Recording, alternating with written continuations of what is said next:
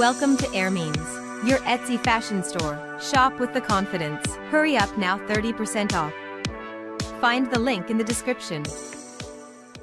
Sofia Vergara has recently explained how she gave new meaning to a tattoo earlier dedicated to her former husband Joe Manganiello during an appearance on the latest episode of The Talk on May 31st. The Modern Family alum revealed she had inked two tattoos on each of her wrists, one honoring her late brother and the other, a J, which she got for Joe, Sofia, who parted ways from Joe in July 2023 after seven years of marriage, said, this was Joe Manganiello's initial, but now he's gone so, the actress confessed that the situation actually worked in her favor, how lucky can I be that the guy that I'm going out, with, has the same initial, she remarked in reference to her new boyfriend, orthopedic surgeon Justin Saliman. Sofia added she planned to recycle the tattoo that I in another interview with people for her beautiful issue cover story. Sofia opened up about what she wanted in a new relationship, health, money, fun, with kids.